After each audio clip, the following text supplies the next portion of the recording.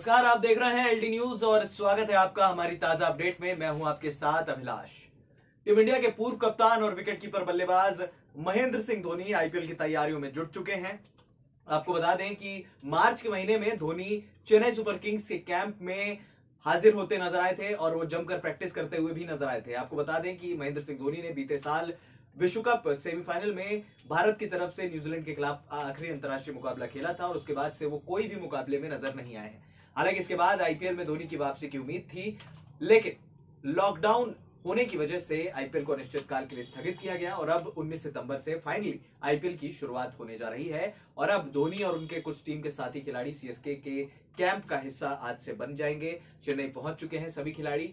वहीं सबसे बड़ी बात जो ये है, वो ये है कि महेंद्र सिंह धोनी काफ़ी ज़्यादा भावुक नज़र आए जब वो वहाँ पहुँचे एम चिदम्बरम स्टेडियम में इंडोर जो उन्होंने चीज़ें देखी फैसिलिटीज़ देखी तो थोड़े से भावुक नज़र आए। खबरों की माने तो धोनी इसलिए भी इमोशनल हुए क्योंकि चेन्नई की जनता उन्हें बहुत प्यार करती है। जैसे पूरा देश उन्हें प्यार करता है, वैसे ही जब क्रिकेट का महाकुंभ खेला जाता है तो ऐसा लगता है कि पूरा चेन्नई चेपॉक स्टेडियम में उमड़ पड़ता है। तो अब क्राउड सपोर्ट उतना नहीं देखने को मिलेगा, क्योंकि कोरोना ने बहुत देशों की कमर तोड़ी है और बहुत सी चीज़ों पर इसका इम्पैक्ट भी पड़ा है। शायद यही वजह है कि महेंद्र सिंह धोनी भी काफ़ी ज़्यादा इमोशनल होते हुए नज़र आए। साथ ही ये भी कहा जा रहा है कि महेंद्र सिंह धोनी खुश भी नहीं है यूएई में क्योंकि आईपीएल हो रहा है, क्योंकि जब भारत की ये लीग है तो भारत में ही होनी चाहिए थी। लेकिन फ़िलहाल ये हालात नहीं है हिंदुस्तान में कि आप आईपीएल जैसा बड़ा टूर्नामेंट ऑर्गेनाइज करा सके। तो शायद कहीं ना कहीं धोनी को कमी ज़रूर खल रही होगी, लेकिन हम उम्मीद करते हैं कि इस बार थाला जो है, वो एक बार फिर शानदार वापसी करेंगे और चेन्नई सुपर किंग्स, जो पिछले साल एक रन से फाइनल चूक गई थी, इस बार